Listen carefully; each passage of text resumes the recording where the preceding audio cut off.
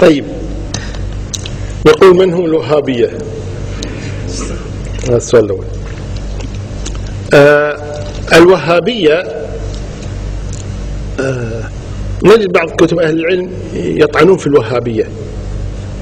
لكن الوهابية عند أهل العلم يعني هي فرقة تنتسب إلى رجل يقال له عبد الوهاب وهو في القرن الثاني الهجري من الخوارج. في القرن الثاني الهجري يعني سنة 160 165 هجري. يعني قبل محمد عبد الوهاب ب 1100 سنة تقريبا. وهذه يعني آه، فرقة يعني ضالة من المعتزلة أو من عفوا من الخوارج. طيب وهي فرقة ضالة.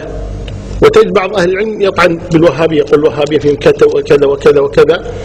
وهي خرجت في المغرب العربي.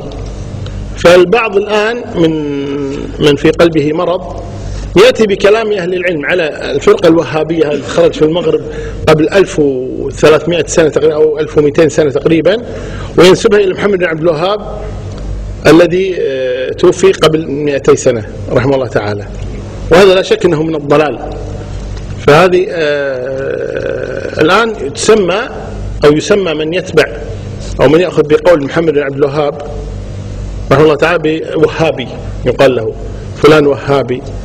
فقد تجد أحيانا أن كلمة وهابي في كتب أهل العلم لما يذمون الوهابي خاصة لما يكون من المتقدمين.